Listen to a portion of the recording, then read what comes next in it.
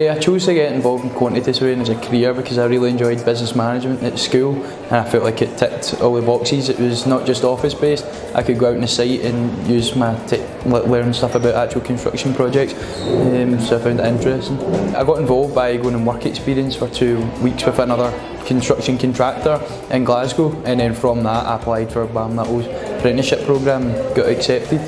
The apprenticeship involves going to university one day a week for 12 weeks at a time uh, and then it's a four year course and by the end of it I get an honours degree in quantity surveying. If someone was considering a career in quantity surveying or civil engineering and they didn't quite know what it was and if it would be something that they'd be suited to, I'd really hope that they would take the time to research it and then like, apply for places if they thought it would be something that they'd be interested in because I think it falls into a lot of people in schools don't know that the roles exist and if they did, they, they might find a career that they like.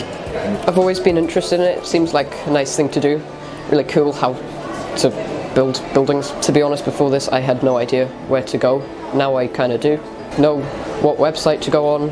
I know that you can go and have like a a day and see and experience it. BAM Nuttall helped me find opportunities really. One of the ways of doing this is by applying for work experience placements with companies like BAM Nuttall. You can get out in site, get in the office and meet new people and put it on your CV for future applications.